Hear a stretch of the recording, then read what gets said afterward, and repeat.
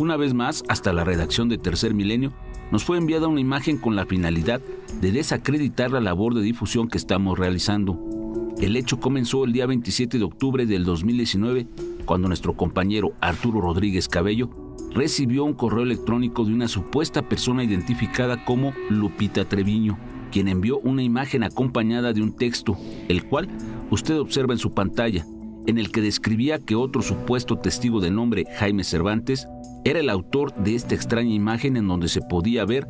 a un objeto con un domo en la parte superior y se encontraba suspendido a muy baja altura en la comunidad de Tepiaca, en Puebla.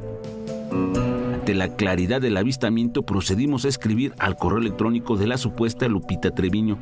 para solicitarle una entrevista con la finalidad de conocer los detalles del evento y para poder acudir con cámaras y micrófonos hasta esta localidad.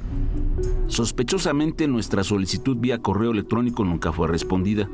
En la redacción de Tercer Milenio estábamos convencidos que de tratarse de un evento real y como ha ocurrido en otros casos, se contaría con muchos testigos que pudieron haber observado al presunto ovni, por lo que procedimos a presentarla en una de nuestras emisiones haciendo un especial énfasis en el llamado a la población de Tiapiaca, en Puebla, para que se pusieran en contacto con nosotros para conocer más sobre este caso.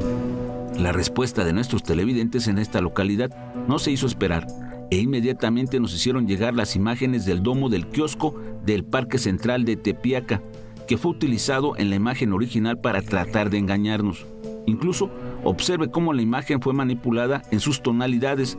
para hacer desaparecer la estructura del kiosco y hacer resaltar la evidente presencia del domo. Por lo que cerramos este caso informándole que desde hace tiempo, personas malintencionadas desde la comodidad y la seguridad que les proporciona el anonimato, una vez más y de manera inútil, han tratado de desacreditar el trabajo que realizamos en Tercer Milenio, ocultándose en correos electrónicos falsos, testigos inventados y con imágenes manipuladas una situación para la cual estaremos aún más atentos e informándole a usted con toda puntualidad.